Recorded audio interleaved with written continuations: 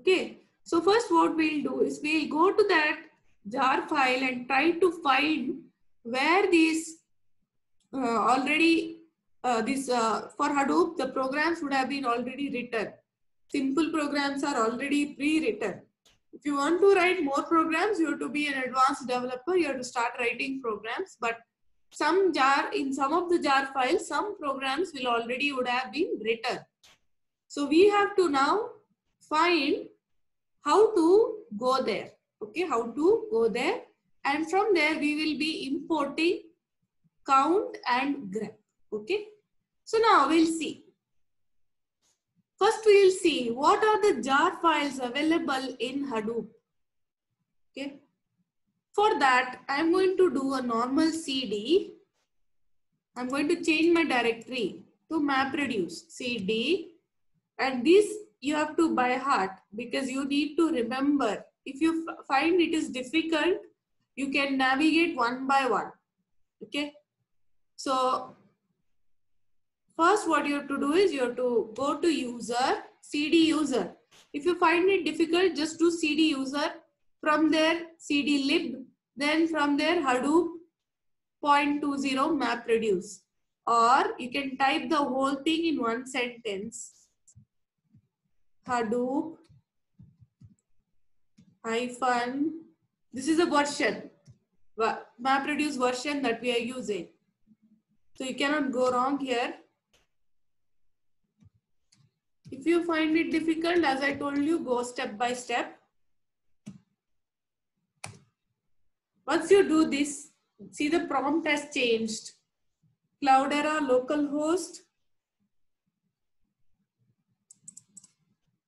You can see that, right?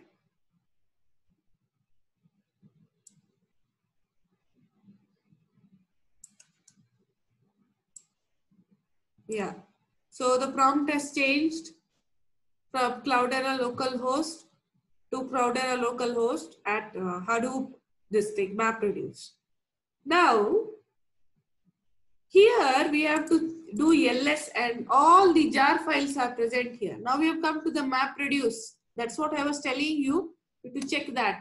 See, when you do ls, we'll see all the jar files. See, the name of the files are here this is one jar file this is another so some names are there little some are difficult some are easy like that okay now we have to select the one which has uh, what do we say our uh, uh, grep and word count so what we will do is we will go for the simplest one and uh, that will be this one Hadoop examples.jar. Even in other one version also it is there. CDH 4.40. This one also it is there.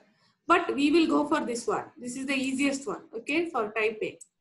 So for this one, to see the content of that, because I told you jar means what? What is the meaning of a jar file? Consider it like your normal jar. Inside the jar, you will put many things, no? Collection, so if you are making pickle, you'll put pickle inside a jar. Same thing, same concept here. So many different small, small program codes have been put under one small, uh, small file like thing called a jar file. Okay. And if these concepts have come in Java and all that, jar file, you will not have come across this in uh, C and all that. It's like a collection of similarly related programs, you can say, or codes. So I want to see what's inside this jar file. Do Will I find word count and uh, grep? So that is what I have to do first. So how will I uh, check? Because this jar file is on Hadoop. Okay, what I have to do is I have to put the Hadoop command. Hadoop fs. Sorry, Hadoop jar no need of uh, fs because it's not a file uh, command it's simply a jar command to see the content we are not doing any file related work here like ls or anything cat and all we are not doing so simply we'll put jar and uh, we have to get the whole path so the whole path is see till here we already typed before where is that? Yeah, till here, see? This whole path, this whole path followed by this. So let's type that user lib Hadoop hyphen hyphen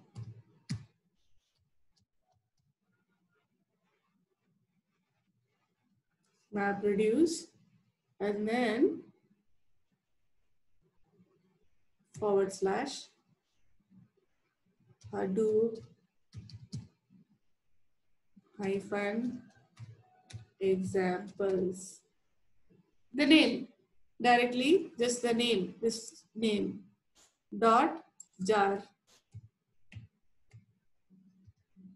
And then enter. See here, see the list of things that it consists of. It consists of these many programs, aggregate word count, aggregate word list, db count, grep. This is what we are going to do. Join, multi-file, pentomino, pentomino problems. And their description is also there. Random text writer, random writer, secondary sort, sleep, sort, sudoku. Even sudoku solver is there. TeraGen, TeraSort. And last one is word count. This is also we are going to use. We are going to be using two grep and word count. So these are the contents of the jar file. So this jar file consists of all these different programs. So we are going to use these two of them from this. Okay. Next, how are we going to do the next thing? We will do the word count program. Okay, word count program will do so we already have our test program. The name of the program is test. So we'll do that. So now what, how we are going to do is, we are going to take the jar file, whichever we have selected. Here we have selected this as our jar file, right? So till here the command remains the same. Okay. After this, I'm going to put the file program that I'm using. For example, if it is a word count, I'll put the name word count, this one. After that, I'm going to give the input path file on HDFS. Then give a space and give output path file. Okay, with the new directory name. So what I, how I am going to do, just notice it very carefully. I'm going to go back to the old command. See till here, it's the same old thing.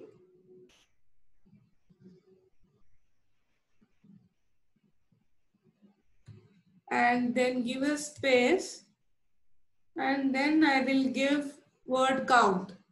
The word count is my file, uh, the program here. See here from the jar file. I'm going to do word count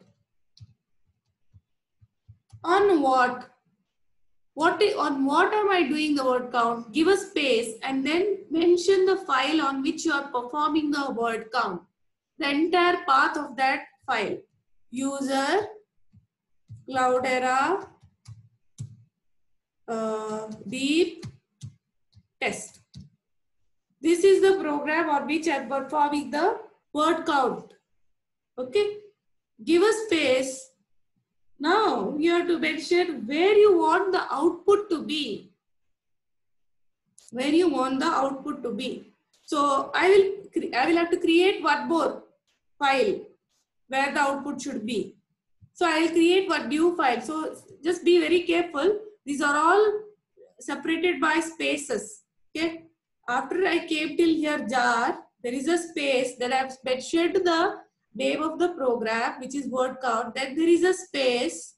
After that, the input directory of the file on which I want the word count to be performed. Then I want one more space. Okay. After that, the output directory where I want the output to be. So user Cloudera, deep. I'll create one file on the spot. Uh, out WC, output of word count. I'll create that. Okay. Out WC. Once this is done, press enter. It looks very long, but it isn't. Only thing you need to understand is how this is written. So once again, I'll repeat. So this much is from here. See here, from here. Hadoop, jar, Hadoop space, jar space, the contents of the jar file till here. Space, the program, word count. Space, the input directory. That means the file which I am going to input, test. Till that, the path. Then space, then the output program. Output program, we don't have an out WC file. It will be created. And then press enter.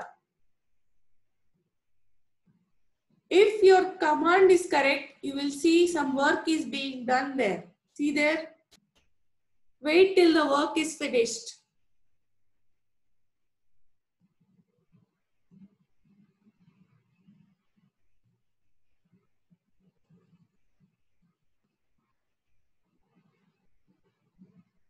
Okay, the work is finished now. Everything is map reduced and the work is finished. Now what you have to do to see the output, you need to see the output though. So Hadoop fs minus ls give the entire run. path name. Output is where wc, right? Till there you give the path.